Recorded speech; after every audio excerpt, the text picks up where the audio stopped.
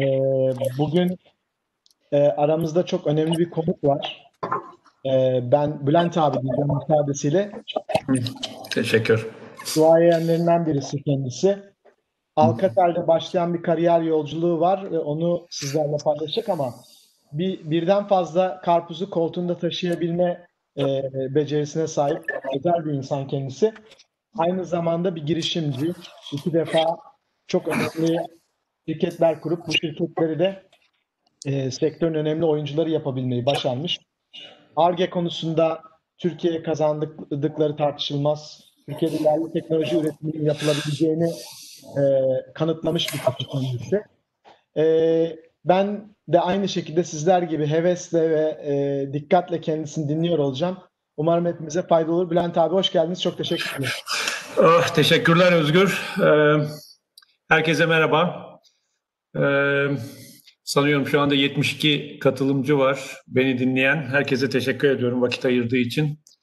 Ee, Özgür'ün de söylediği gibi e, aslında sektörde işte 35 yılı aşan bir e, deneyimim oldu ve bunun da e, önemli bir kısmı Teletaş'ta geçti.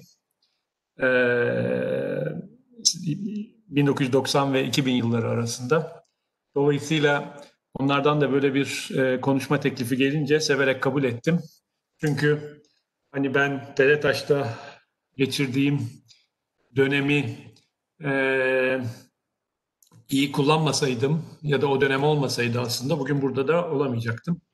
E, gerek Teletaş'ta e, Türkiye'de çok az kaldım. Bunun 10 yılın neredeyse e, tamamına yakını Belçika'da geçti. E, ve bir yıl St. Petersburg, e, neredeyse bir yılda e, Norveç e, oldu.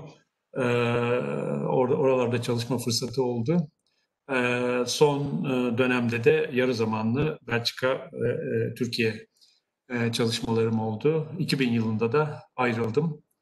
Ee, ondan evvel de 5 yıllık bir NETAŞ deneyimim var. Dolayısıyla Türkiye'deki zamanın iki büyük firması e, olan ve 1980'lerde e, ve 90'ların başında e, neredeyse o dönemin ZTE'si ve Huawei'si diyebileceğimiz Türkiye'deki iki büyük e, firmada çalışma şansı yakaladım ve on, orada da çok şey öğrendim.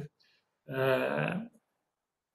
ve telekom e, telekomünikasyon sektöründe de bu iki firmanın e, neredeyse o dönemler üçer bin kişiyi aşkın e, çalışanıyla e, Türkiye'deki gerek üniversitelerde gerekse piyasada olan beyin gücünün önemli bir kısmını da e, istihdam ettiğini e, tekrar hatırlayalım derim. Ama maalesef bir sürü nedenden dolayı işte Netaş Nortel'e satıldı. Özelleştirme e, adı altında Teletaş Alcatel'li oldu o dönemlerde. Alcatel'in oldu. Biz de Alcatel'de çalışmaya başladık Teletaş'tayken. Ama Teletaş ismi bugün de hala e, ve Teletaş ruhu bence ayakta. E, bundan da büyük bir mutluluk duyuyorum eski bir Teletaşlı olarak. Bunda emeğe geçen e, eski yeni herkesin herkese de teşekkür etmek isterim. Ee, ben Teletaş'ta olduğum zaman işte Fikret Beyler, Ersin Beyler, Yurdakul Beyler hani benim hayatıma dokundu diyeceğim insanlar ki bunların içinde rahmetli Yurdakul Bey'in şeyi çok yeri çok ayrıdır. Aynı şekilde Netaş'ta da Tanju Argunlar, e, işte Burak Akşıraylar e, benim yine e, bütün bu kariyerim boyunca hayatımda önemli yer edinmiş bir şekilde bana etkisi olmuş, kararlarımda etkisi olmuş olan insanlar oldular. Yine burada onları anmak isterim. E, kısaca kendimden bahsedeyim. E, çünkü e, hani e, beni içinizde iyi tanıyanlar var. Beraber çalıştığım arkadaşlarım hala Teletaş'ta. E, bunları da e, onların da isimlerinin bazılarını burada görmekten büyük bir mutluluk duyuyorum. E, işte 80 84'te NETAŞ'ta çalışmaya başladım. Marmara Üniversitesi'ni bitirdikten sonra 5 yıl kadar orada. E, orada da işte DMS santrallarının e, önce kurulumunda, testinde görev aldım. Ondan sonra e, yine design change taleplerini yapan gruplarda çalıştım. Teknik servisin başına geçtim. E, işte bir süre Kanada'da, daha sonra e, Bell Nord'un BNR e, İngiltere'de e, çalıştım. Türkiye'nin ilk numara 7 işte haberleşmesinin o zaman ISAP Q767 dediğimiz kısmın kodlarını geliştirdik. Türkiye'de DMS 100-200'leri falan kurduk. Sonra İngiltere'den bir iş teklifi alınca ayrıldım. Ee, ama o iş teklifi de Margaret Thatcher zamanında İngiltere'ye gitmek çok zordu vize almak. Uzayınca bu sefer Teletaş'a girdim. Teletaş'a girdikten kısa bir süre içinde de e, Belçika'ya gönderildim. Türkiye'deki sistem, e, Türkiye'de kurulacak olan Sistem 12 santrallarının özellikle sinyalizasyon modüllerinin e, e, development'ını yapmak üzere. O zaman benimle beraber oraya giden işte şu anda yine beraber çalıştığımız e, Savaştan Yeri, e, Danik Ünverdi gibi isimler de vardı. E, onlarla beraber ilk ekipte daha sonra bir sürü insan daha geldi oraya. E, bu işte sinyalizasyon modüllerin development'unu orada yaptık. Ondan sonra da orada üniversiteye yazıldım. E, işte Avrupa Üniversitesi'nde iki tane master yaptım. E, MIS ve MBA olmak üzere. E, onların da şeyiyle, onlardan da gelen teklifle işte burada kal teklifiyle burada kaldım. Diğer arkadaşların çoğu döndüler ya da kısa süreli kalanlar oldu. Ve orada kaldıktan sonra da 10 e, yıl boyunca değişik şeyde gruplarda başta Network Intelligence olmak üzere işaretleşme grupları, sinyalizasyon grupları, call control gruplarında değişik görevler aldım. En sonda işte kompetans area manager dedikleri yaklaşık 15-16 tane design center'ın da bağlı olduğu call handling gruplarının gruplarını lead etmeye başladım.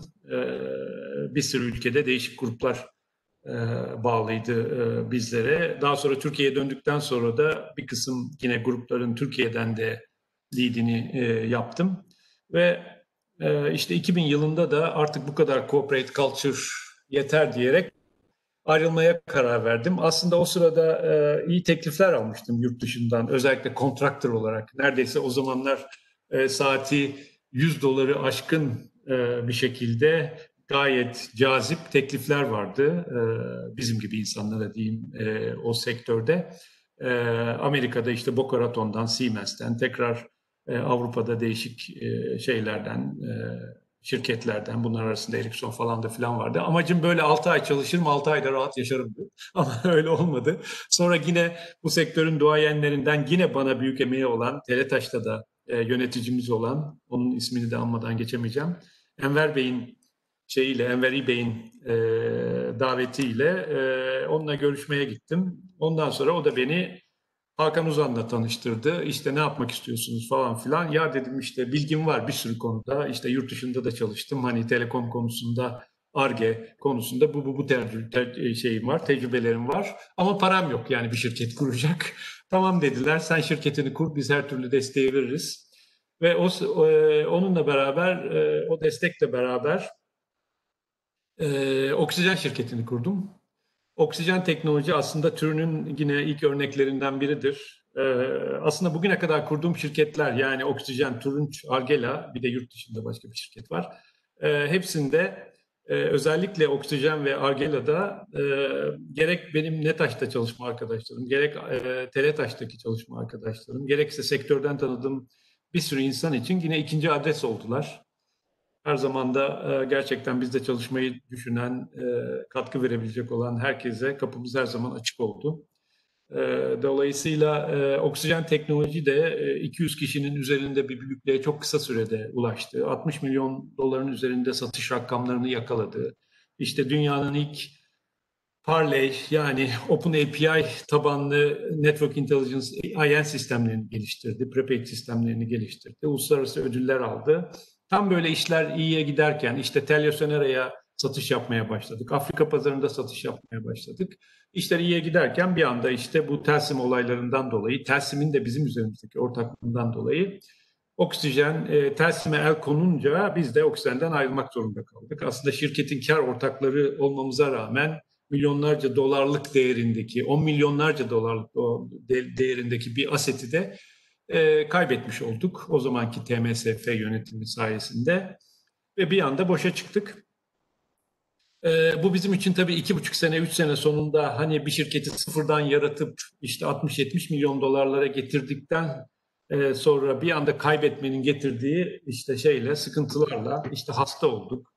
E, bir sürü e, maddi sıkıntılar yaşadık. Yani öyle oldu ki artık benzinciye gidip arabama benzin aldığım zaman paramın olmadığını hissettim. Kredi kartlarım da o sırada tedbirliydi vesaire. Yani sıfır noktasına işte 40 yaşlarında, 40 yaşın başın, başında, 42 yaşında sıfır noktasında o kadar yurt dışı tecrübesi, o kadar çalışma, o kadar gayret sıfır noktasında olmanın hem şeyini ne derler ona acı tecrübesini hem de bir şekilde insanı bir yer bir şekilde de güçlü kılan tarafını da hissettim. çünkü hep şuna inanıyorum. Aslında hayatta korkulması gereken insanlar aslında kaybedecek bir şey olmayanlardır. Ee, kaybedecek bir şeyiniz yoksa aslında son derece şeysiniz. Her türlü riske alırsınız. Her işe e, girersiniz.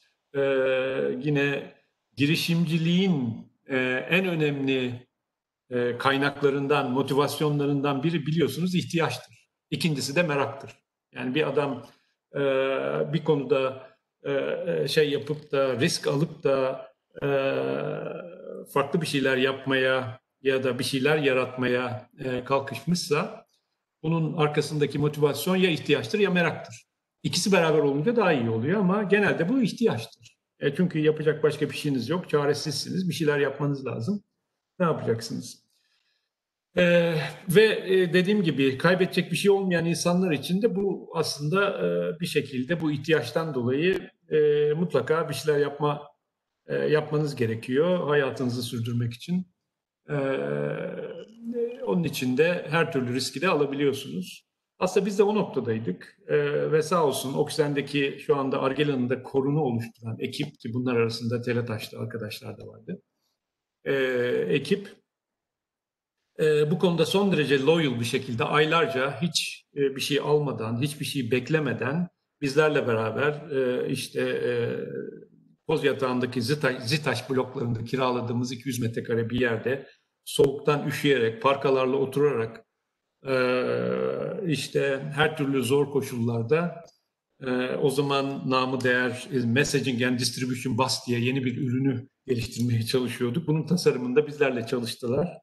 Biz de o sırada işte nasıl yatırımcı buluruz, tekrar ne, nasıl bir e, şirketi ayağa kaldırırız şeyiyle 30 küsür kişilik bir grupla e, tekrar e, çalışmaya başladık. E, çok zorlu günlerdi. Yani e, hep birbirimize dayanışma içindeydik. İşte kiminin eşi hamileydi ona para verdik doğum yapsın diye. Kiminin hastalığı vardı ona para verdik e, işte hastanede e, ödeme e, yapsın diye. Kiminin başka ihtiyaçları vardı. Böyle bir e, tam bir dayanışma içinde o günleri e, bir şekilde geçirdik ve sonunda işte Sanko diye bir grup geldi.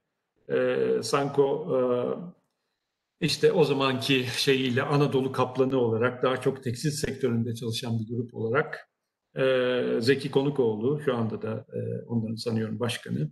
Milyarlarca dolarlık büyük bir grup Sanko aslında Türkiye'de.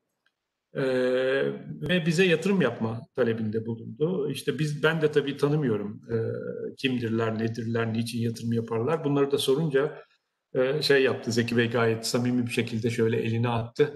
Dedi ki gülüm dedi sen merak etme biz e, işte Türk mühendislerine her türlü desteği vermeye hazırız. Bir şeyler yaptınız yapmadınız, yaptınız yaptınız yapmadınız e, işte helal hoş olsun deriz. Ondan sonra yolumuza gideriz dedi. Ee, şimdi tabii bunu söylerken bir yandan da e, şunu belirtmek isterim ki Türkiye'de e, aslında sanayici var ve Sanko da bunlardan bir tanesi. İşte hepimizin bildiği Koçlar, Sabancılar, Eczacıbaşılar, büyük holdingler, yine e, bir sürü böyle holding daha çok sanayici kimliğiyle iş yapıyor. Teknoloji yatırımcısı, özellikle yazılım konusunda risk sermayedarı diyelim pek yok. Risk sermayedarları pek yok. Herkes işte bir e, tesis kurayım, bir makine alayım, işte buradan şu kadar şey üreteyim, bunu şu kadara e, mal edeyim, bu kadara satayım. Böylece bir şeyleri e, elle tutulur e, şeylere yatırım yapmak istiyor. İşte e, tekstile, turizme, inşaata, e, enerjiye vesaire. E, ama yazılım dediğiniz şey işte birlerden sıfırlardan ulaşan bir CD'nin ya da bir USB'deki e, şu kadar megabaytlık ya da şu kadar baytlık bir şeyin değerinin milyonlarca dolar olduğunu anlamak zor tabii. Yani bu, bu şeydeki bu background'dan gelen insanlar için. E, dolayısıyla hani girişim kültürü, inovasyon kültürü niçin ülkemizde az ya da istenilen seviyede değil sorusunun bir şekilde cevabı da otomatik olarak çıkıyor. Çünkü bu bu kültürün oluşabilmesi için önce tabii eğitim sistemi çok önemli. Yani biz nasıl insan yetiştiriyoruz? Çocuklarımızı nasıl yetiştiriyoruz? İşte otur oturduğun yerde başımıza icat çıkarma e, diyen bir kültürden nasıl inovasyon çıksın, yenilik e, çık, e, çıksın? Bu işin e, şey tarafı. Yani aileden, toplumdan, örgün ve yaygın eğitimden kaynaklanan e, tarafı e, şeyin inovasyonun ve girişimciliğin. E, öbür taraftan da şeyi de şeyimiz de çok az. Fikri mülkiyet e, konusunda işte patentti, e, lisanslı şeylerdi. Bunları geliştirme konusunda da yeterince e, şeyimiz yok. Ayak izimiz, çabamız yok. Yani e, üretilen fikri mülkiyetten e, fikri mülkiyeti bir intangible asset yani bir bir şey olarak değer olarak e, görüp de buradan da para kazanma konusunda yeterince farkındalık yok. E, böyle olunca e, fikri mülkiyet yeterince üretilmiyor belli bir alanda. Eğitimden gelen, çocuk yetiştirmeden gelen, yaratıcı, girişimci insan yetiştirmekten gelen sıkıntılarımız var. Öbür taraftan da bu işe yatırım yapacak risk sermayedarlarımız var. Şimdi bütün bunlar olmayınca işte teknokentlerde şey yapalım, e, ofis verelim, vergi desteği verelim, e, insanları teşvik edelim e, şeyiyle bu kültür oluşmuyor. E, bu oluşmayınca da yeterince e, şey çıkmıyor. Zaten çıkanları da görüyorsun işte. E, teknokentlerdeki incubation merkezlerinde herkes bir şeyler yapmaya çalışıyor ya da artık bu konuda e, dünya örneklerini Türkiye'de taklit ederek e, bir şeyler yapmaya çalışanlar var. Yani e, aslında bizim en iyi yaptığımız iş applied engineering e, dediğimiz e, şey yani e, mühen, e, şey mühendisliği daha çok e, belki bir tür inovasyon diyelim ama e, bir şeyleri yaratma sıfırdan bir şeyler yapmak konusunda e, ki e, şey e, dediğim gibi bu konudaki kültürümüz yok. E, bu yerleşik bir şey değil yani ülkede e, kültür değil. Ee, bunları da aşmamız için dediğim gibi bütün bu işin bu bacaklarını, risk sermayeleri, eğitimi, e, fikri mülkiyeti yaratmayı becerebilmemiz gerekiyor. E, ben de e, işte yani oksijen tecrübeleri ve Argela'yı yaratırken aslında daha çok inovasyona odaklandık. Yani research'tan daha çok inovasyona odaklandık. İşte hepiniz belki biliyorsunuzdur. İşte oksijende geliştirdiğimiz yeni nesil IAN sistemleri, prepaid, e, mobile VPN, değişik bir sürü e, şey, e, roaming gibi, prepaid roaming gibi bir sürü uygulama e, bir e, Türkiye'de kullanılıyor. Hatta e, Vodafone'la devrolduktan sonra oksijen, devlet tarafından Vodafone'a çok ucuz bir fiyata bence verildikten sonra e, e, hala e, oksijenin geliştirdiği bizim zamanımızda benim direkt kodunu yazdığım Inox sistemleri uzun süre kullanıldı. Yani Inox'un da açılımı Ion Oksijen'di aslında. O ismi de biz vermiştik e, bu platformlara. Ion, e, e, Inox hala kullanılıyor mu bilmiyorum ama yani oksijen e, hakikaten e, benim hayatımda çok önemli bir e, yeri oldu. Hani kendi e, varlığım gibi böyle sahiplendiğim bir şirketti. Oradaki arkadaşlıkları, arkadaşı yaşadığımız şeyleri hiçbir zaman unutamıyorum. E, dolayısıyla oksijenin yaptıkları o dönemde e, 1900 şey 2000'lerin başında geliştirdiği sistemler işte Türkiye'deki ilk ve dünyada da üçüncü e, te, e, televizyon e, şeyde cep telefonunda e, e, televizyon, mobile video uygulamaları. Ondan sonra ilk soft switchler e, Cağaloğlu santralında kurduğumuz bunlar hep o dönemde olan şeyler oldu. Argela'da tabii Oxten'de yaptıklarımızı yapmak istemedik. Bambaşka yeni bir sayfa açtık. Ee, Argela'da da işte Virofon ilk defa Türkiye'de işte 2004 yıllarında Türksel'e kuruldu. Cepten net, netten cebe diye bir servis e, adı altında çıktı. O zaman Afganistan'da e, Bosna'daki olan e, işte askerler bile kullanmaya başladı. Kanada'dan dünyanın her tarafında. Virofone'u hatırlatayım size. O zamanki e, namı da değer aslında Skype'tı. Hatta Skype'tan bile daha üstün özellikleri olan bir sistemdi. O zaman çünkü hani telefonunuzu cebinizde taşıyıp dünyanın her yerinden herhangi bir IP network'ünden VoIP çağrısı yapabiliyordunuz. Ama bu bahsettiğim sene 2003 unutmayın yani 16 sene önce. Tabii ki şu anda e, bunları e, WhatsApp'tan, Skype'ten, e, MSN'den her yerden yapabiliyorsunuz. Ama o dönem için ilkti bütün bunlar. E, ve o zaman biz CSMA'de işte Türkcell'le o zaman gidip de e, işte büyük ödülü alacağımızı hayal ederken bir anda Türkiye'deki BTK işte e, VoIP çağrıları yasaktır dedi. Sistemi kapattırdı. E, ve e, Virofone'da hiçbir yere gitmedi o günden sonra. Telekom'da da bir yere gitmedi. Başka bir yerde de bir yere gitmedi.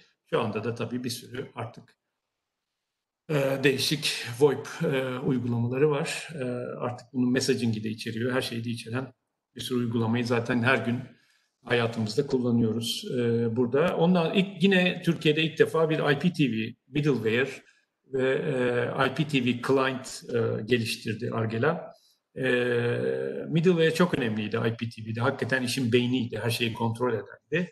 E, yurt dışı firmaların 30 milyon dolar istediği sistemleri biz 7 milyon dolara burada geliştirdik ve Telekom'un uzun süre IPTV, e, TV Bu dediği servisin omurgasında bizim e, bu beyin dediğimiz yazılımımız vardı. E, client'ları yine biz yaptık. E, kullanılan web client'lar olsun, mobil client'lar olsun falan filan. Daha sonra işte bundan 3-5 sene önce maalesef Telekom içindeki malum o zamanki yapılanmadan dolayı bu iş bizden alındı, başka yerlere verildi. E, ondan sonra e, şimdi de e, yine yeni bir ihaleyle sistem e, yenilenecek.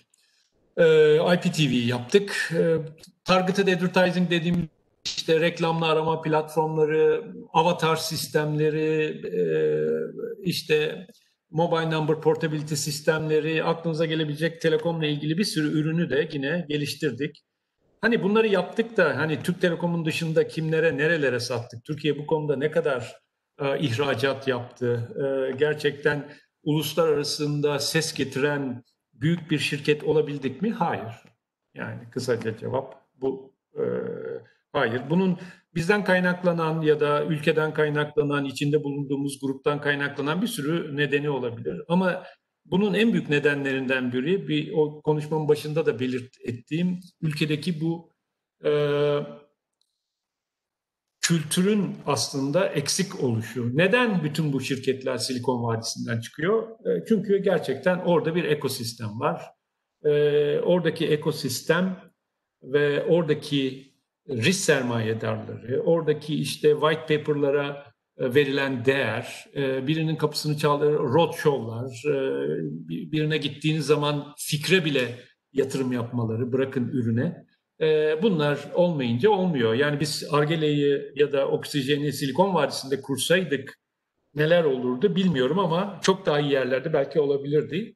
Yani biz de tabii kendi çapımızda buradan yurt dışına ihracatlar yaptık. İşte Şili'den bugün e, Şili'de, e, Ukrayna'da, işte Orta Amerika'da, evet, bütün Türk Cumhuriyetlerinde, e, hani e, Orta Doğu'da, e, şu anda Afrika'da, Azerbaycan'da, e, bir sürü yere ürünler kurduk. Ama bunlar hani tamam milyon dolar değerinde olabilir ama hani yüz milyonlarca dolara, milyar dolara çıkamadık.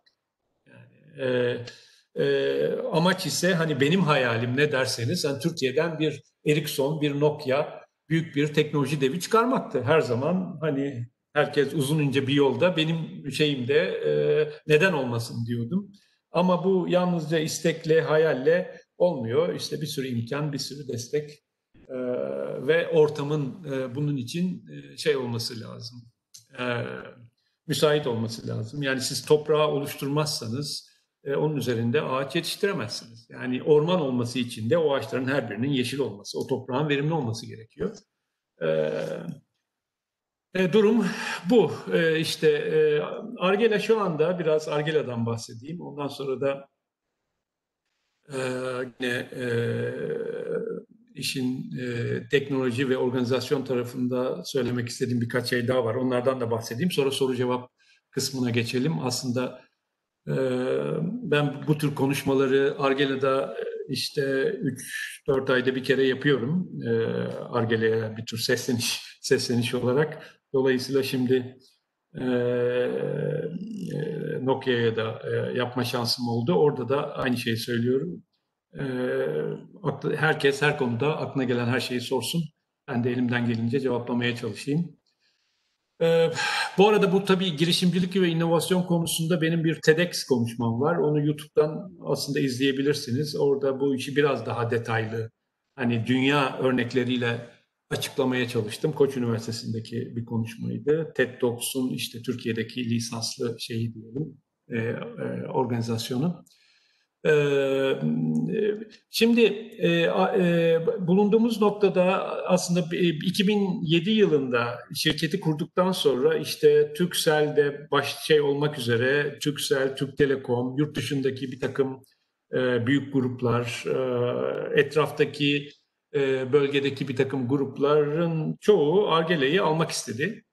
Ee, bunların içinde Intel Capital yani iCap en öne çıkan oldu ve e, bölgedeki 50 şirket arasında Argele'ye bir numaraya koyarak yatırım yapma talebinde bulundu ve term sheet verdi. Yani direkt olarak teklifi verdi.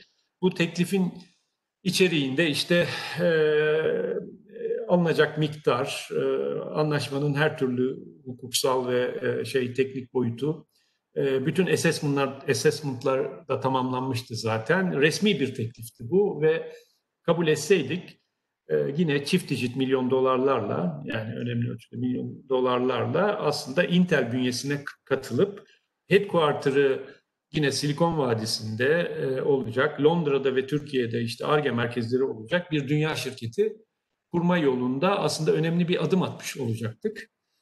E, ve biz de buna aslında meyilliydik. Yani Intel'in kalkıp da Türkiye'deki böyle o zaman 2006 yılından bahsediyorum. E, bir şirkete yatırım yapması ve bizim elimizdeki teknolojiyi bir şekilde global pazara gidebilecek değerde bulması ve bununla ilgili daha dünyadaki operatörler nezdinde de bir tür marketing faaliyetine de girişmesi önemliydi ve biz de o zaman ilk defa işte nihayet global pazarda büyük bir şirket olma şansını yakaladığımızı düşünüyorduk. Ama maalesef e, Sanko o zamanki büyük ortak Argela'daki,'nin yönlendirilmesi ve bir takım bakanların da ki hiç unutmuyorum video konferansları ve e, telekonferansları devreye girmesiyle e, o zaman Argela Türk Telekom bünyesine katılmak durumunda kaldı.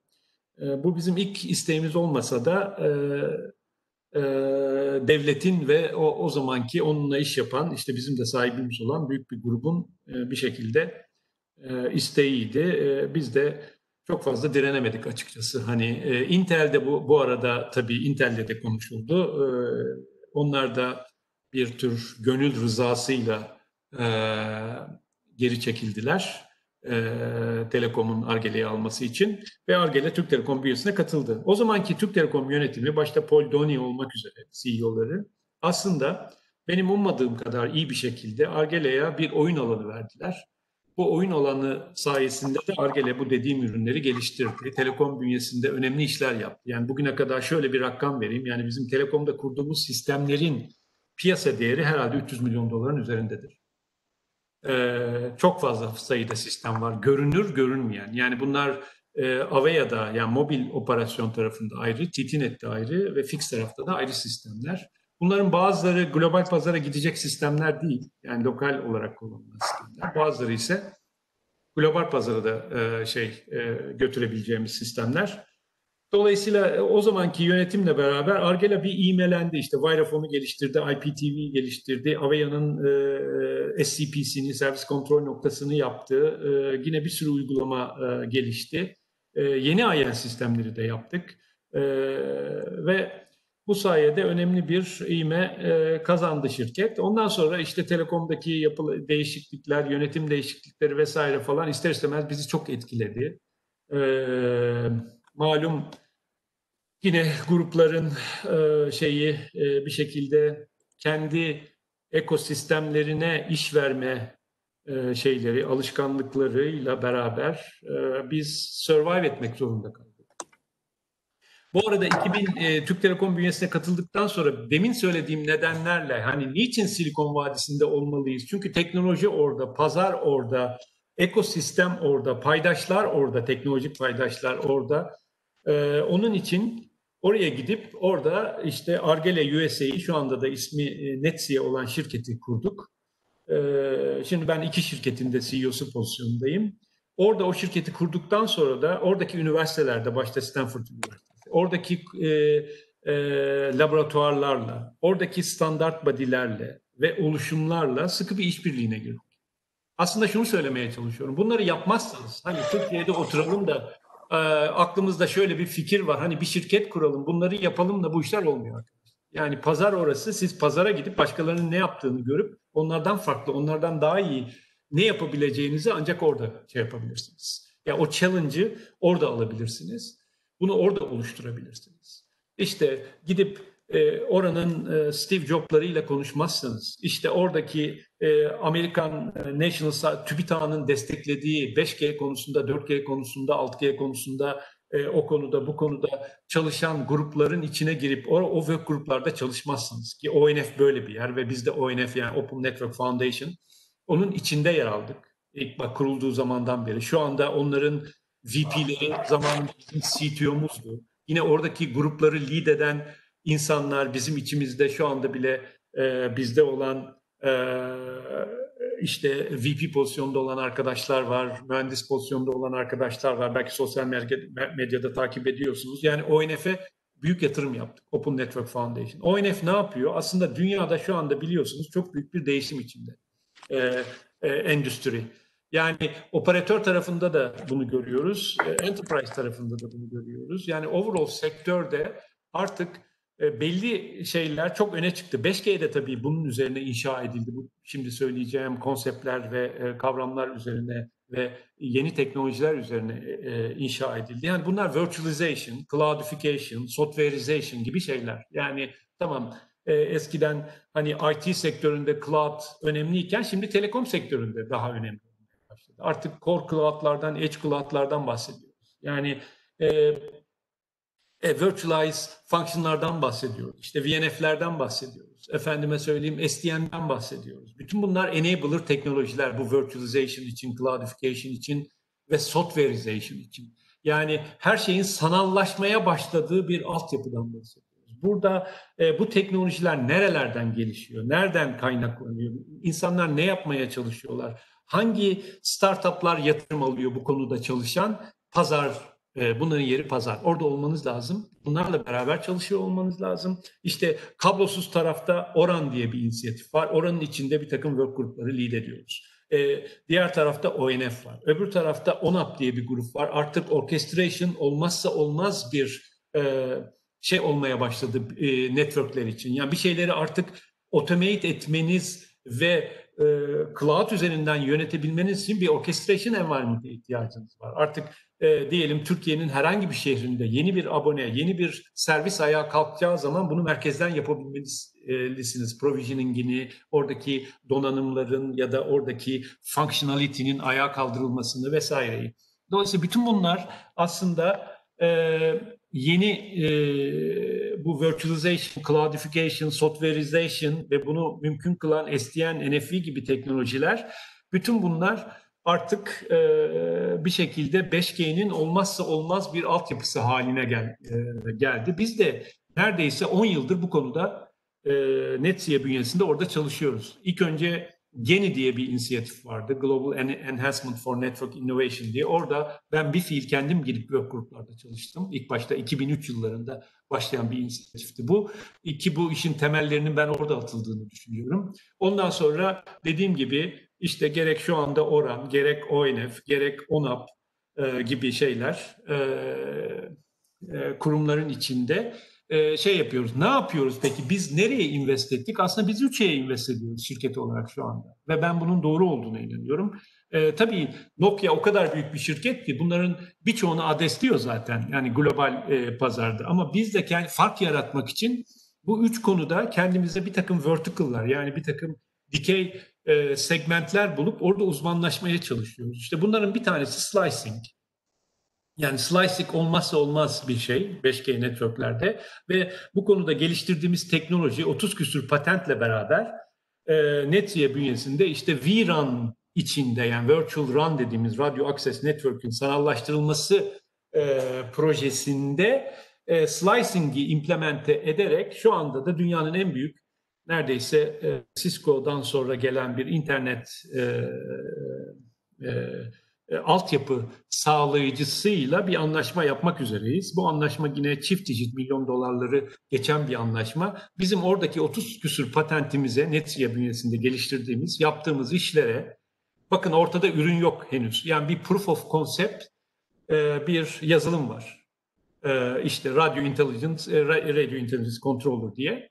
RIC denen bir yazılım var. Buna bu çift dijit milyon dolarları vermek üzere bize bir term sheet vermiş vaziyetteler. Sanıyorum önümüzdeki günlerde bu anlaşma sonlanacak. Biz de Amerika'da orada e, işte yıllardır emek verip geliştirdiğimiz bu konuda yazdığımız patentlere intelligible, intel, şey, intangible asset diyelim buna yani fikri mülkiyetten para kazanmayı göstermiş olacağız. Bu niçin önemli? İşte Türkiye'de üniversitede okuyan öğrenciler, işte gerek bilgisayar bölümü, gerek diğer bölümlerde elektrik, elektronik vesaire.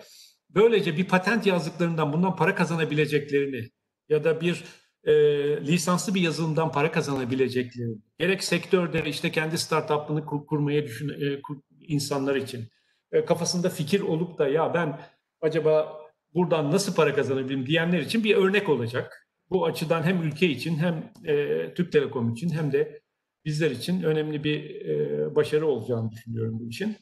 E, bu e, da gerçekleştirdikten sonra şimdi yine Fix Access Network'ün tarafında da önemli bir ürünümüz var. O da e, benzer şekilde devam ediyor. Orada da yakında duyacaksınız herhalde. Türkiye'deki fiber network altyapısının özellikle telekomda sanallaştırılması konusunda e, bu sene sonundan itibaren biz kendi ürün ve çözümlerimizde hazır bir hale e, gidiyoruz. Bu da yine dünyada ilk olan şeylerden biri olacak.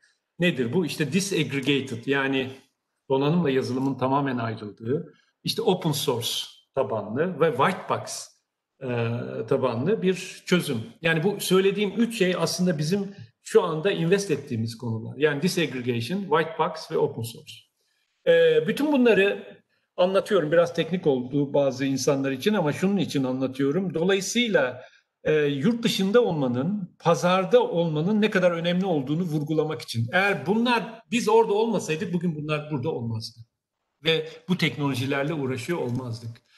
Buradan şeye de geleceğim. Yani şirket olarak Silikon Vadisi'nde yapılanmak ne kadar önemliyse kişisel olarak da yani benim kendi e, hayatımda da önemli bir aşama olarak gördüğüm şey yurt dışında çalışmamdı. Yani sizler özellikle gençlere bunu söylemek istiyorum ya da kendini genç hissedenlere diyeyim. E, mutlaka hayatınızın bir döneminde gerek e, mesleki açıdan e, bilgiyi birikiminizi arttırmak için ama bundan daha önemlisi bir ekosistemin içine girmek için, genel kültürünüzü arttırmak için ve global bir oyuncu olmak için, global bir insan ol, olabilmek için mutlaka kendinize fırsatınız olduğunuzda e, yurt dışında yaşama şansı e, tanıyın. E, bunun için bence yurt dışı firmaları da ki siz zaten Nokia bünyesinde çalışan insanlar olarak aslında buna her, bu şansı herkes her şey herkesten fazla sahipsiniz. Yani global bir organizasyonun bir parçası olmak, global organizasyonlarda çalışmak ve özellikle yurt dışında dediğim gibi bu işin pazarında, pazarının içinde olmak öyle değil midir? Yani siz pazara gidersiniz, e, sebze meyve tezgahı açarsınız, bakarsınız yandaki tezgahta kim ne yapmış, nereden ne ürünler getirmiş, kaça satıyor, benim kim pahalı, onun kimi iyi, onun kimi daha taze falan filan bir şey yaparsınız. Yani e, bir karşılaştırma yaparsınız, kendi yerinizi, kendi değerinizi görürsünüz. Artık e, işte e, kaçınılmaz bir şey herkesin e, artık sana e, herkesin sanal bir ortamda aslında mekandan bağımsız olarak çalıştığı ve değerinin de yine mekandan bağımsız e, e, bir hale geldiği. E, bütün bunlara baktığınız zaman dolayısıyla global bir değer yaratma konusunda kendiniz bence inisiyatif almanız uzun vadede büyük avantajlar sağlıyor. Bunu yine şey yapmak istiyorum, vurgulamak istiyorum.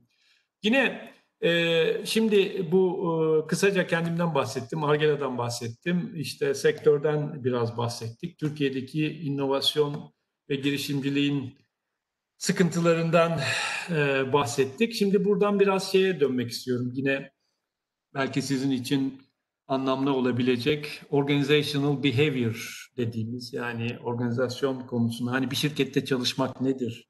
Ee, ben çünkü hani Türkiye'ye döndükten sonra iki sene işte Marmara Üniversitesi'nde yüksek lisansta dersler verdim. Ee, e, master öğrencilerine. Daha sonra üniversitelerin Boğaziçi, e, Özyeğin ve Koç Üniversitesi'nin danışma kurullarında görev aldım. Mühendislik fakültelerinde. Yine oralarda da gerek e, işte teknik 5G olsun, network intelligence olsun dersler verdim ama girişimcilik konusunda da dersler verdim. En fazla sorulan sorulardan bir tanesi de hep şu oluyordu o zaman üniversitede. Ya akademik kariyer mi yapayım yoksa gerçekten bir yerde çalışayım mı? Geleceğimi nasıl şekillendireyim? Herkesin özellikle gençlerin kafasında olan e, bunlar e, e, önemli önemli sorular. Tabii hani akademik kariyer yapmak ya da bir şirkette çalışıp bir şekilde kariyer yapmak bu kişisel bir şey. Hatta bunun içine personality de çok giriyor. Yani nasıl bir insan olduğunuz da bunun için çok önemli. Beklentilerinizin ne olduğu da çok önemli. Ama hani bizler aslında büyük şirketlerde belli kurumsal kültürler içinde çalışarak hem şanslıydık hem şanssızdık. Ee, insan hani hayallerinin peşinde koşmalı derler. Bu bir yere kadar doğru ama e, biraz da şans gerekiyor. Yani bir şeyler yapmak için. Ben e, yine kendime döneyim. Biraz böyle edok oluyor kusura bakmayın konu konuyu açıyor ama ben de böyle doğa, e, doğaçlama konuşmayı seviyorum. Evet yani her şey hayatta kendi elinizde değil. Hani ben şanslı olduğumu düşünüyorum. Hani derler ya ya şans çalışanın yanındadır falan. Ben buna koskoca büyük bir şeyle kusura bakmayın bullshit diyorum. Böyle bir şey yok. Ee, şans çalışmak tabii ki bir şeyleri achieve etmek, başarmak için çok önemli bir şey ama hani şans çalışanın falan yanında değildir. Adam babasından kalan mirasla bir, bir ömür boyu çalışmadan yaşayabiliyor. Ee, hiçbir şey yapmadan hayatını geçirebiliyor. Dolayısıyla bu şans yani bunun çalışmayla falan bir ilgisi yok. Ondan sonra aslında şans daha çok hani kontrol edemediğimiz bir sürü parametrenin öngöremediğimiz bir sürü şeyin ya da anlamlayamadığımız ya da mental gelişimimizin e, bir şekilde yetersiz kaldığı, yorumlayamadığımız bir sürü şeyin bir araya geldiği, e, yarattığı durum aslında. E, siz doğru zamanda, doğru yerde ol, oluyorsanız hakikaten şanslısınız ve bir şeyleri yapabiliyorsunuz. Ben de kendime dönüp baktığım zaman özellikle 1960 doğumluyum. Dolayısıyla şimdi 60 yaşında sayılırım. Öyle hissetmiyorum bu arada onu da söyleyeyim. İçim hiç öyle değil. e, e, baktığım zaman şanslı olduğumu düşünüyorum. Yoksa hani hayatı spor salonlarında işte kısmen laboratuvarlarda e, gerek işte voleybol, basketbol oynayarak gerekse beyin sporlarıyla, satrançta bir işle uğraşan bir adam olarak işte e, ne e, öyle öyle geçti hayatım. E, ne çok iyi bir yani baktığın zaman hani gittiğim üniversiteler, okuduğum okullar, ee, ya da çalıştığım yerlerde kendimi hiçbir zaman e, en iyisini yapmış gibi hissetmedim. Benden daha iyi her zaman e, etrafımda insanlar vardı. Gerek mühendis olarak iyi insanlar vardı, gerek sporcu olarak iyi insanlar vardı, gerek entelektüel birimi, birikimi benden çok daha iyi olan insanlar vardı. Benden çok daha akıllı, zeki olduğunu düşündüğüm insanlar vardı. Ee, ve e, bunu da rahatlıkla kendime şey yapabiliyordum, yani itiraf edebiliyordum. Aslında bu da zaman alıyor. Bir insanın kendiyle barışık olması da e, oldukça şey zor bir şey. E, o hale gelmesi de zor. Bir şeyleri kendine itiraf etmesi de çok zor bir şey. Çünkü hepimizin e, egoları var, hepimizin e, beklentileri var, hırsları var falan filan. Özellikle belli yaşlarda bu bunlar ister istemez e, daha ön planda ön planda oluyor. Bir şeyleri başarmak, bir şeyleri ispat etmek ve kendiniz ve sevdikleriniz için bir değer yaratmak ve daha iyi koşulları oluşturmak istiyorsunuz. Ama zaman içinde e, artık biraz daha kendinize dönüp baktığınız zaman hani neleri yaptınız, neleri yapamadınız, kendinizle yüzleşme şansını yakaladığınız zaman aslında bazı gerçekleri kabullenmek ve daha e, bu sefer daha fazla huzurlu olma şansını elde e, edebiliyorsunuz bu, bu sayede. Hani benim için de bu biraz geç oldu bence. Yani e, e, bir şeyleri kabul etmek ve kendiyle barışık e, yaşamaya çalışmak. Bu çok zor bir şey aslında.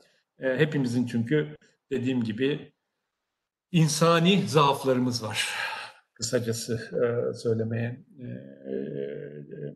şey yaparsam, e, çalışırsam. Onun için e, yani bu zaafların e, üstesinden gelmek e, çok şey değil. Yani e, kolay bir şey e, değil. E, burada e, önemli bir e, şey de dediğim gibi e, e, e, bununla yüzleşmek. Yani bunu başarabiliyorsanız önünüze e, devam edebiliyorsunuz. Ben hiçbir zaman dediğim her konuda en iyi olduğumu iddia etmedim. E, öyle olmadığımı da e, biliyordum ama şanslıydım. Yani doğru zamanda doğru yerdeydim. Hani bu şansı evet sen mi yarattın falan e, şeyde bu bu da ihtiyaçtan kaynaklandı. Yani bütün keyfim yerinde olsaydı hani aman e, çok iyi bir işim var, maaşım var, huzurum da yerinde, e, ne gerek var falan filan bir sürü insan böyle çünkü. Yani ama size şu mesajı vereyim. Yani hayatta huzur diye bir şey yok arkadaşlar. Ben bunu gördüm. Yani durduğunuz anda aslında geriye gidiyorsunuz. Yani ben işte şöyle rahata eriyim ya işte bak şu pozisyonu elde edeyim, title'ım bu olsun, maaşım bu olsun e, diye bir beklentiye girip de onu onu eriştiğinizi sandığınız anda aslında bu size pek fazla e, şey de getirmiyor, mutluluk falan da getirmiyor. Yani sürekli bir e, devinim var ve bunu kabul ederseniz aslında daha rahat e, yaşıyorsunuz. Yani böyle bir huzur, rahat oluşacak özellikle iş hayatından bahsediyorum. İşte bir takım hedefler koyarak o hedeflere eriştiğinizi düşündüğünüz anda, durduğunuz anda e, geri gitmeye başlıyorsunuz ve keseden yemeye başlıyorsunuz. E, bu da zaman içinde sizi bir er, erozyonu uğratıyor.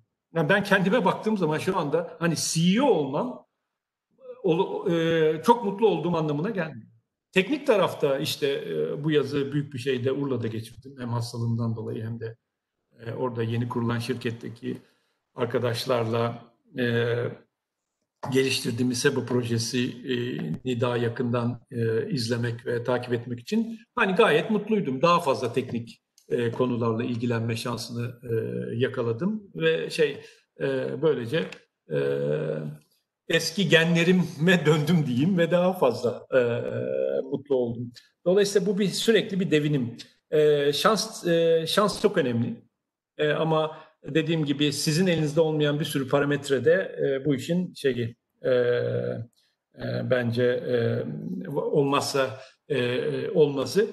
E, yani aslında doğduğumuz anda da böyle. Yani biz ne annemizi babamızı seçme şansına sahibiz, ne e, kimliğimizi, e, identity'mizi seçme şansına sahibiz, ne nerede yaşayacağımıza, hangi okula gideceğimize, hangi arkadaşlarımızın olacağına, küçükken rol, rol modellerimizin kim olduğuna bunlara karar verebiliyor muyuz? Veremiyoruz. Yani bunları hepsi önce genlerimizle bize aktarılıyor.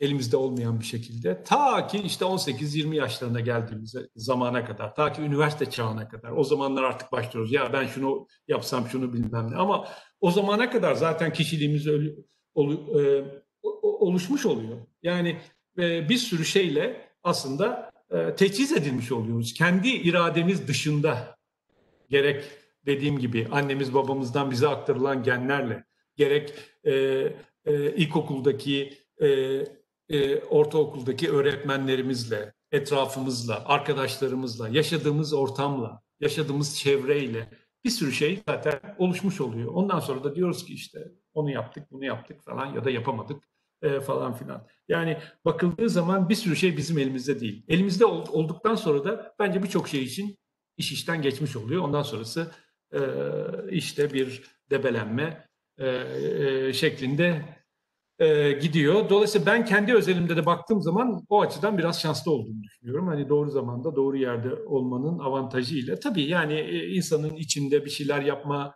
e, tutkusu her zaman oluyor. ihtiyaçtan oluyor, meraktan oluyor demin söylediğim gibi. Bunları da e, kullanmaya çalıştım. Yani kişiliğinizin burada çok büyük önemi var. Hani e, ben e, hani kendime baktığım zaman işte çok da böyle sakin bir kişiliği olan bir adam değildim yani. Kızarım, e, sinirlendiğim zaman bunu belli ederim.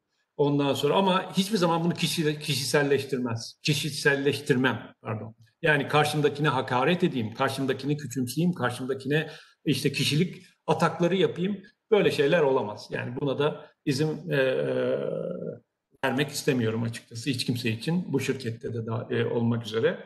Aslında hep hepimizin buradan şeye geçeyim, biraz organizasyon tarafına geçeyim. Doğru bildiğimiz yanlışlar var. Ee, özellikle iş hayatında doğru bildiğimiz yanlışlar var. Bana göre tabii. Yani benim e, 35 yıllık tecrübemle söylüyorum bunu. Doğru bildiğimiz yanlışlar var. Yani bir kere kurumsal kültürü e, dün ön plana çıktığı, fazla ön plana çıktı. Yani süreçlere bir şey demiyorum. Süreçler, prosedürler eyvallah. Her, her, her şirkette olması gereken şeyler. Ama kurumsal kültür denilen kültürün bir takım ananelerin, geleneklerin, onların bunların ön plana çıktığı organizasyonlarda yaratıcılık falan olamaz. Kurumsal kültür yaratıcılığın en büyük düşmanıdır. Siz insanları işte sabah 8'de geleceksin, akşam 5'e kadar çalışacaksın. İşte şunu yaparken şun, şundan izin alacaksın. Bunu yaparken bundan izin alacaksın. Şunu şu formu dolduracaksın. Şu bilmem ne yapacaksın diye sürekli olarak iki duvar arasında yürümeye zorluyorsanız o insanlar yaratıcı falan olamaz. Öbür tarafta kırlar var bırakın koşsunlar. Dolayısıyla kurumsal kültürün abartıldığı organizasyonlarda hatırlıyorum biz bunu şeyde de yaşadık. Yani 15 dakika geç kaldığın zaman iş yerinde işte şey geliyor. Hemen HR'dan uyarı geliyor. Bir daha olursa bilmem ne olursa işten atarız falan. Yani nerelerden geldik? Neleri yaşadık? Kurumsal kültür abartıldı ise yaratıcılık falan beklemeyin orada çalışan insanlar. Onlara çünkü oyun alanı vermiyorsunuz. Onlara koşma şansı vermiyorsunuz. Onların hayallerini gerçekleştirme, risk alma, hata yapma şansı vermiyorsunuz. Dolayısıyla nasıl bu insanlar yaratıcı olsunlar? Ee, şeyde. Bu konu çok önemli bence. Ee, büyük organizasyonlarda kaçınılmaz olarak o organizasyonun bir şekilde iş yapma biçiminin e, ya da oradan belli bir kalitede bir ürünün çıkması için belli süreçlerin e, uygulanması gerekliliğine katılıyorum. Ama bunu söylerken daha çok insana olan insana olan yaklaşımdan bahsediyorum. Yani e, şimdi birisi bana geldiği zaman ki bunu örnekleri ya benim Datça'da yazlığım var. Yazın gidip orada oturacağım ama bu kodu buradan yazacağım. O testi oradan yapacağım. Bunu yapabiliyorsa git kardeşim Datça'dan çalış. Git Marmaris'ten çalış. Git Bodrum'dan çalış ki şimdi şu pandemi döneminde zaten bunların ister istemez böyle olması gerekliliği ortaya çıktı ve bence bu bir e, e, hastalığı bir kenara ayırıyorum ama bu insanların belki de daha verimli ve daha yaratıcı olmaları için de bir olanak sağlıyor. Yani ben e, illa e, zamanımın bilmem ne kadarını yolda e, e, belli bir ortamda e, belli kısıtlar içinde geçirmek zorunda değil. E, bu bence çok önemli. İkinci konu da demin söylediğim gibi insanların şu anda bunu Argela'da özellikle insan kaynaklarına sık sık hatırlatmak zorunda kalıyorum. Son derece efendi, son derece hanımefendi, sürekli yüzünde gülümsemelerle e, approach eden, yak, e, e, bu tür şeye, behavior'a sahip olan insanlardan uzak durmak. Bu insanlar bence maskeyle dolaşıyor. Bir insan sürekli e, pozitif, sürekli e, işte iyiliksever, yardımsever, sürekli e, karşındakine tamam efendim, aman efendim deyip de işte girip de odasında e, ya da şeyinde sabah 8, akşam 5 çalışıyorsa o insanlar bence yine yaratıcı olamazlar ve o insanlardan ben kişisel olarak da uzak durulması gerektiğini düşünüyorum. Çünkü maskeyle dolaşıyorlar. Olduğu gibi değiller. Ya bir insan kızmaz mı? Bir insan sinirlenmez mi? Bir insan aklındaki fikri inan, inanmadığı bir şeyi e, dile getirmez mi? Ortaya çıkıp biraz tadında provokasyon yapmaz mı? Eğer bunları yapmıyorsanız organizasyondan bir yaratıcılık bekleyemezsiniz. O insanlar yaratıcı olamazlar. Dolayısıyla böyle şey klasik tabirle son derece efendi, hanımefendi olan insanlar uzak dursun. Böyle değil çünkü. İnsan içi içlerinin böyle olmadığını hepimiz biliyoruz bir yerde patlıyor zaten günün sonunda. Sürekli tebessümle dolaşabilir mi bir insan? Bunu yapımıza aykırı çünkü. Yani heyecanını, sıkıntısını, e, kızgınlığını dile getiren insanlar makbul. Bizde de öyle. Ve buradan şeye geçiyorum. Hata yapan insanlar makbul. Hata yapanı eğer başaran kadar ödüllendirmiyorsanız yine bir sıkıntı var organizasyon. Ya insan hata yapmadan, risk almadan nasıl yaratsın? Yani dünyada bir tek bana şey söyleyin ki e, işte uçağından, elektriğinden, o sonra keşif, keşiften söyleyin ki arkasında hata olmamış olsun. Hafta, e, e, e, sayısız başarısızlık olmamış olsun. Dolayısıyla başarısızlık olmadan başarı olamaz. Hata olmadan e, keşif olamaz. E, bunları anlamamız ve hata yapanı, risk alanı, başarısız olanı ödüllendirmenin yolunu buluyor olmamız lazım. Çünkü gerçekten makbul insanlar bunlar. Yani verileni yapan, verileni belli bir kriterde yapanlar değil. Gerçekten bir organizasyon yaratıcı olmak istiyorsa ve e, bir şeyler, farklı bir şeyler yapmak istiyorsa e, bu tür insanlarla yapabilir. Yoksa e, dediğim gibi sürekli maskeyle belli bir tornadan çıkmış gibi aynı davranış şeyiyle donatılmış insanlarla değil, paterniyle donatılmış insanlarla değil. Bunların da kıymetini bilmemiz lazım. Bu tür insanların, ayrık insanların kıymetini bilmek lazım. Çünkü onlar daha yaratıcı. Her zaman. Ee, buradan şeye geleceğim. Yani bunlar önemli. Bir de tabii bizim en büyük şeylerimiz, bunu TED konuşmamda da vurgulamıştım. Yani içimizde çok fazla altın çocuk sendromlu insan var. Nedir altın çocuk sendromu? Ya bu tabii aileden başlıyor. Daha çocukluktan başlıyor. Ee, benim oğlum, benim kızım son derece başarılı. Bak benim oğlum işte Robert Kolej'e gitti. Kızım Robert Kolej'e gitti ya da şu okulda okudu işte Üsküdar Amerikan'da okudu. işte o lisede okudu, bu lisede okudu. Ondan sonra gördüm bak Boğaziçi Üniversitesi gitti. İşte Stanford'da okudu. Yurt dışında bilmem ne yaptı. E, yurt içinde Koç'ta okudu, orada okudu, burada okudu. Artık e, siz e, e, söyleyin e, üniversiteleri falan filan. İşte gitti Amerika'da master'ını yaptı. MIT'de doktorasını yaptı. İşte Princeton'da bilmem doktorasını yaptı falan filan. Hep böyle çocukları biz ilk başta ta ilkokuldan itibaren böyle çocukların üzerine büyük bir şey koyuyoruz. Yük veriyoruz. Ne oluyor o çocuk? Şöyle bir psikolojiyle büyüyor. Ya ben farklıyım. Ben daha başarılıyım. Dolayısıyla sürekli bu yükle hep kendini e, leading edge'de yani e, uçta en başarılı o olması gerektiği gibi şartlandırıyor. Ve o şeyi kaybetmemek için de bu başarılı insan, e, daha farklı insan, herkesten daha iyi olma şeyiyle, psikolojisiyle e, sürekli olarak e, şey yapıyor, hata yapmaktan korkuyor. Ve sürekli çalışıyor. Hakikaten de başarılı. İşte okullarını 4-0'la bitiriyor. Oradan 4-0'la bitiriyor. Ondan sonra iş hayatına geliyor. Bizim gibi bir şirkette işe başlıyor. 3 ay sonra işten çıkartıyoruz, atıyoruz. Neden? E, risk almıyor. Projeyi veriyorsun. Ya ne olacak? E yapacağım. E tamam uğraşıyorum. E şimdi şu tool'a bakıyorum. E şimdi onu e, inceliyorum. E daha bunun top level design'ını yapacağım. Bilmem nesini yapacağım. Niçin? Çünkü hata yapmaktan korkuyorlar. Karizmayı çizdirmekten korkuyorlar. Yani altın çocuklu sen, sendromlu insanların en büyük problemi budur. Hata yapmak, risk almak ve karizmayı çizdirmekten korkmak. E böyle insanlar nasıl yaratıcı olsunlar? Ya bu insanları verirsiniz. İşte bir şirketin yöneticisi olur, bir şirketin bilmem nesi olur, bürokrat olur, orada olur. Çizilen kurallar içinde yani bir organizasyon içinde well defined e, görevler, görev tanımları içinde tabii ki çalışırlar ve yaparlar. Ama bir şey yarat, risk al, hata yap. Ya, olamaz. İmkansız. Onlar için öyle bir şey bu. E, dediğim gibi. Ve böylece altın çocuklu sendrom e, yetiştiren ve e, bunları bunlarla tesis edilmiş organizasyonlarda yaratıcılık çıkmıyor. Bir şey de bu. Dolayısıyla bunu e, bunun üstesinden gelmek ancak hata yapmaktan zevk almakla mümkün. Bu da bir e, yaşayarak görmek, öğrenmek şey. Hata yapmaktan zevk alacaksınız, risk almaktan zevk alacaksınız, başarısız olacaksınız ve organizasyonda bunu ödüllendirecek. Zor değil mi? İşte doğru bildiğimiz yanlışlardan bir tanesi bu. İkincisi yine bir sürü şey var da hani biz aslında diplomadan genelde liyakat alan bir toplumuz ülkede. Yani diplomamızdan liyakat bekliyoruz. Liyakatın şeyi o, diploma ya da geçmiş, özgeçmiş, CV. Gerek e, okul hayatıyla gerekse iş hayatında. Liyakatı bunlara dayandırıyor.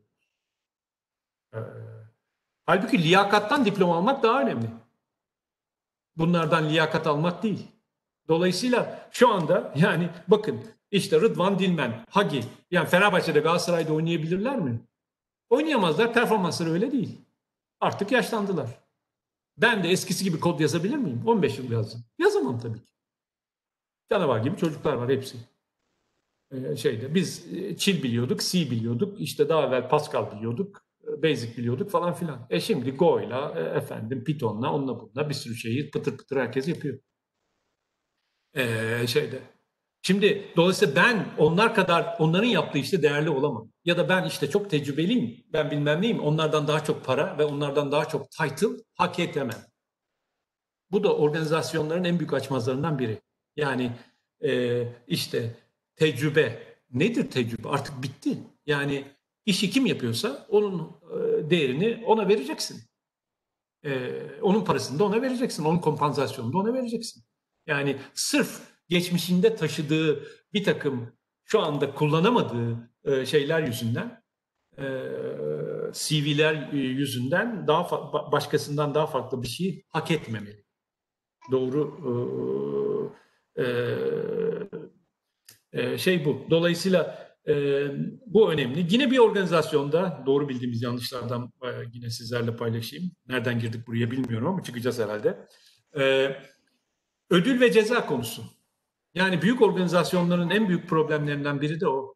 Yani bir insanı ödüllendiriyorsanız da, cezalandırıyorsanız da bence ikisi de insan onuruna, onuruna aykırı. Yani takdir etmek başka bir şey ama başkalarının gözüne soka soka, başkalarına örnek olsun diye bunu yapıyorsanız gerçekten insan onuruna aykırı. Böyle bir şey olamaz. Yani niçin vatan millet Sakarya edebiyatıyla e, ya da şey olsun diye hadi aslanım sen çok başarılısın ne kadar iyi yaptın falan filan başkalarının da e, gözü önünde bir insana bir ödül veriyorsanız bu kabul edilebilir bir şey değil. Bu şu demek.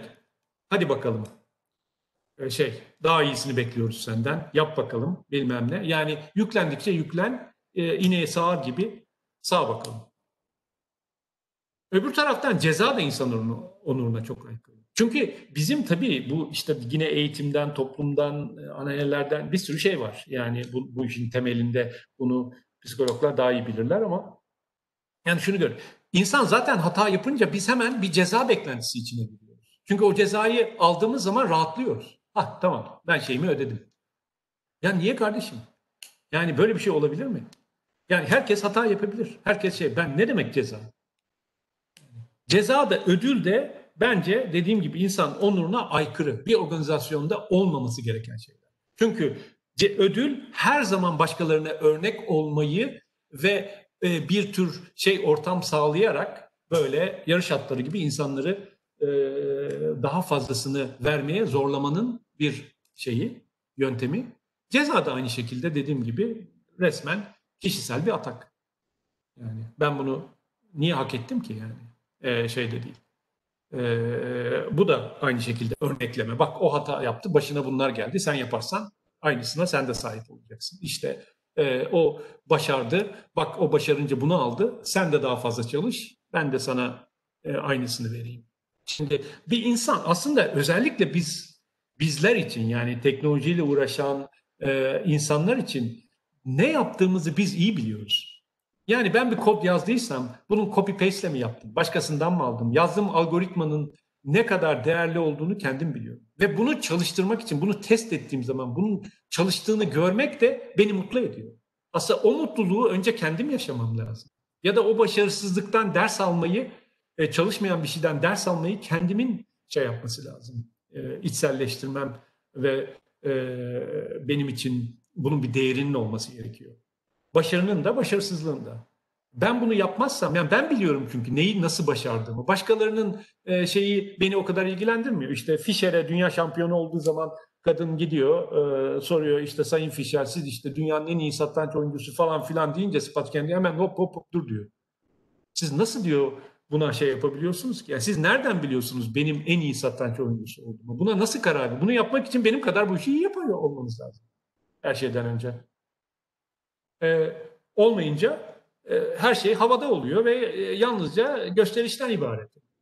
Ee, şeyde. Neyse. Dolayısıyla e, şeyle ilgili söyleyeceklerim de bunlar. Organizasyonel e, konularda e, söyleyeceklerim de e, bunlar. Şimdi zor bir dönemden geçiyoruz. Yani hakikaten her şeyin değiştiği bir dönemden geçiyoruz. Büyük bir transis, transition yani değişim yaşanıyor aslında bizim dünyamızda. Yani hepimiz bunun içindeyiz. Gerek e, Nokia, Teletaş, işte Argela ve sektördeki diğer çalışanlar olarak hepimiz e, bunun için içindeyiz. Yani bu tabii 5G ile gelen bu sanallaşma, virtualization, yeni bir e, altyapıdan ziyade e, toplumda da büyük bir değişimler oldu, oluyor da. İşte bu pandeminin, e, koronavirüsün yol açtığı şeyleri hepimiz yaşıyoruz. Değişiklikleri e, hepimiz e, yaşıyoruz. O açıdan yani unik bir dönem, e, zor bir e, zor bir dönem. Bizi nereye götüreceğini de e, bilemiyorum ama hani e, görünen o ki hakikaten daha sanal bir dünyaya doğru geçiş yapıyoruz. Benim kişisel görüşüm o. Hani 20 sene sonra, 30 sene sonra gerçekten burada ben mi oturacağım yoksa benim avatarım mı sizlere seslenecek ya da benim bir instant instance'ım mı sizlere seslenecek? Bunu bundan emin değilim açıkçası. Ee, benim yine kendi kişisel şeyimle e, hani sizlere e, en son olarak sorularınızı almadan evvel e, e, söyleyeceğim bir şey de e, yine 60 yaşında bir birçoğunuzun abisi ya da arkadaşı e, olarak e, aslında gerçekten iki şey var. Bir mutlulukla ki hepimiz mutlu olmayı istiyoruz. E, beklentiler ters orantılı. Ben bunu da yaşadım. Yani beklentileri düşürdükçe mutluluk artıyor. Bu bir tane şey bu. Yani beklentilerinizi, expectation'larını düşürebiliyorsanız gerçekten e, mutluluk daha fazla artıyor. Bunu ben experience şey yaptım e, şeyde. İkincisi de yani biz doğ, doğuştan itibaren aslında öğrenmeye kuruluyuz. Genlerimizde bu var. Yani insanın doğası bu. Öğrenmek hangi yaşta olursa olsun bence insanı yine mutlu eden en önemli şeylerden bir tanesi. Yani buna şey de diyebiliriz. Bir tür aklını doyurmak da diyebiliriz. Yani hepimiz basic ihtiyaçlarımız için koşuşturuyoruz, bunlar için çaba sarf ediyoruz. Ee, işte e, daha fazla para kazanmak için, e, çocuğumuzun okulu için, kiramız için, tatilimiz için, arabamız için, yeni evimiz için, efendim daha iyi bir hayat yaşamak için adreslemek için e, çaba sarf ediyoruz ve bunlar içinde e, aslında içinde bulunduğumuz şey e, ne derler bu e, loop'dan e, dışarıya pek fazla bakamıyoruz. Yani aklımızı doyurmak nedir derseniz hakikaten e, öğrenmek her şeyden önce. Yani öğrenmeyi bıraktığımız anda e, şeyimiz azalıyor. E, mutluluğumuz azalıyor. Kaç yaşında olursanız olun yani öğrenmeye çalışın. Hangi, ne konuda olursa olsun. Yani kültür sanat da olabilir. Bu kendi mesleki şeyiniz e, içinde olabilir. Yani öğrenmek aklı doyurmanın en önemli şeylerinden biri. Yani okumak, test etmek, görmek, seyretmek, öğrenmenin hangi şeyi olursa, hangi metotta olursa olsun e, bence bu bu da çok önemli. Ben de artık yani yıllarca biliyorsunuz beyin sporlarıyla uğraştım. Satrançta orada burada hatta Teletaş hiç unutmuyorum satranç takımıyla beraber Norveç'te olimpiyatlara gidip derece de yapmıştık. Ee, şeyde. Ee, yani bu bu da bir tür akıl doyurma ama şimdi satranç yerine daha çok biriç oynuyorum çünkü daha sosyal geliyor bana ve e, şey daha çok e, zevk alıyorum. E, öğrenmek e, ve e, sürekli e, aklı bir şeyle e, şey yapmak, doyurmak uğraşıyla bu tür gerek beyin sporu olsun gerek bir şeyler okuyarak, öğrenerek, keşfederek e, ya da meraklı olduğunuz bir konuda sürekli e, yeni bir şeyler öğrenerek bu da yine mutluluk verici bir şey. Dolayısıyla aklınızı doyurun diyorum yani son söz olarak. ve e, soruları olan arkadaşların sorularını cevaplamaktan mutluluk duyacağım. Ee, sevgili Bülent, benim benim bir sorum var. Ee, duyuluyor mu sesim? Evet, dinliyorum. ee, şimdi, öncelikle çok teşekkür ediyoruz. İçimizden birinin bu başarı hikayesini e, dinlemekten çok büyük bir mutluluk duyduk. Ee, sağ ol e, zaman ayırdığın için. Ee, benim de 30 sene 30 senelik e, arkadaşımsın. Ee, bir e, bu süreçte şeyle ilgili bazı bilgiler verebilirsin belki. Çünkü e, hani bizim çalışanlarımız açısından da e, önemli. E, bu ULAK'la ilgili e, olan e, Argela'nın e, şey involvement'ı neydi, contribution'ı neydi? E, gelecekte bununla ilgili e, neler düşünüyorsun? E, bu iş nereye gider? Arkadaşlar bunu duysa e, çünkü e, bizim de bazı ürünlerimiz var biliyorsun. Yerli ve milli yapmaya çalıştığımız ürünler. E, buradaki geleceğe yönelik olarak perspektif, senin perspektifin ne olabilir? Bunu tamam, duymak isteriz. Tamam, teşekkür Ya Ulak peki. İsterseniz bir daha baştan alayım Ulak konusundaki şeyi. Yani Ulak şirketini bu fikri işte Argela'da oluşturup daha sonra da e, e, tekrar etmeyeyim. İşte Aselsan, Netaş ve bizim paydaşlığımızla e, devam eden projede e, ki aslında e, e, şey progres çok yavaş oldu ve çok zaman kaybettik bir sürü nedenden dolayı. Yani üç ayrı şirketin üç ayrı süreçle bu projenin içine involve olması çok e, şey e, ne derler e, zaman kaybettirdi bize. E, Ulan şu anda da ben 5G'yi ıskaladığını düşünüyorum açıkçası ve bu konuda e, Nokia'da dahil olmak üzere diğer şirketlerle bir şeyler yapabilir, yapılabilirse e, gayet e, iyi olabilir. Çünkü tek başına Ulan bir global e, e, ürün olarak e, pazara sunulması ve kompetitif olması e, çok şey e, zor. Bana göre böyle yani.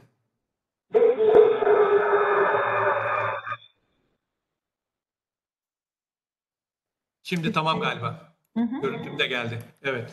Duyuldu mu söylediklerim? Evet. Teşekkür ederiz. Bir arkadaşım... Cumhur, Cumhur e, e, duyabiliyor musun beni sen de?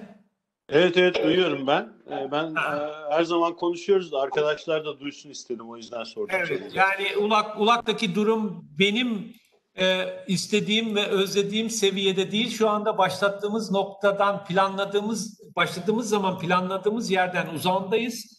E, tabii yapılan önemli şeyler var. Ya Türkiye'de bir 4G baz istasyonunun üretilmesi çok önemli bir şey. Yani bunu hiç şey yapmıyorum. Ama bizim çoktan 5G'sini bu için yapıp global pazarda satıyor olmamız gerekiyordu. Yani benim e, heyecanım ve şeyimle e, ne derler progress e, aynı şeyde değil ve ben geç kalındığını düşünüyorum Ulak'ta. Onun için e, aslında mutlaka global şirketlerle şu anda e, Çinlileri ayırıyorum buradan bir şey yapılmasının ben faydalı olacağını düşünüyorum. Kişisel görüşüm bu yani sırf bunu Nokia için söyle, söylüyor değilim. Evet. Teşekkür ederim Bülent Bey. İbrahim bir sorusu Evet sorusu olan arkadaşlar varsa alın. Evet. Ee, bilmiyorum ne kadar net duyabiliyorsunuz beni. Herhangi bir sıkıntı var mı sesimle alakalı? Yok. Tamam, çok teşekkür ederim. Bülent Bey, öncelikle samimi paylaşımlarınız ve ülke için, geçmiş emekleriniz için teşekkür ederim. Siz ve e, sizin dönemindeki birçok arkadaşın e, hikayelerini e, dinledik. E, maalesef şeylerin gölgesinde e, bazılarının ya da açıkça söyleyeyim siyasetin gölgesinde araştırma geliştirme yapmak ve bir sonuca ulaşmak zor olabiliyor bazen. E, sizi hem esinlenerek hem de biraz hüzünlenerek dinledim açıkça konuşmak gerekirse. Aklıma devrim arabaları geldi. Eee e, bahsettiğiniz teknolojilerle alakalı olarak e, özellikle Fixed Access teknolojileri, SEBA, biz AT&T'ye başarılı bir disaggregation çalışması yaptık. E, kendi cihazımızı Whitebox'a dönüştürdük ve SEBA implementasyonu yaptık. E, şu an o noktadayız, orada durdu. Tabii ki başarılarınızdan ve yaptıklarınızdan ders alınacak, esinlenilecek çok şey var ama e, yaptığınız hangi hata bize ders olmalı? Bunu sormak istiyorum. Hangi hata mı dediniz? Evet, yaptığınız hangi hata bize ders olmalı? Valla çok hata yaptım bence. Yani ama e, en büyük hatam belki de şeydi. Hani e, oksijen sonrası dönemde e, burada çok e, debelenerek e, belki de Argele'yi burada kurmaktı. Yani Amerika'ya gitmem gerektiğini düşünüyorum o sırada ve o, orada yapmam gerekiyordu bu işi. Ve e, yani o, o güne kadar olan e, şeylerin, bütün birikimin ve şeyin e, burada çok zaman bana çok zaman kaybettirdi ve bu hata neticesinde de 3 yıl bakın tedbirli olarak hakkımda herhangi bir şey olmadı ama çok zor günler geçirdim. Yani maaşımı alamadım. E, bir an önce yurt dışına çıkmam gerekiyordu o sırada ve bu işleri orada yapıp ondan sonra buraya gelmek gerekiyordu. Yani Argele'yi Türkiye'de kurmak belki de en büyük hatamdı diyebilirim. Yani iş hayatında. Private hatalara geçmiyorum. Yani e, kimle beraber oldum, ne yaptım, nasıl bir sosyal şey e, hayatım oldu onlara girmiyorum. Onlar, onlar farklı. Orada da hatalarım oldu. evet. Anladım. Yani bulunduğumuz konumun şartlarını göz önünde bulundurarak yapmak istediğimiz şeyi nerede yap nerede yapmamız gerektiğine Evet e, kesinlikle karar bakın şu çok çok açık söyleyeyim. Türkiye'de e, bir startup, bir şirket kurup da global olmayı hayal etmek çok mantıklı gelmiyor artık bana şu ortamda.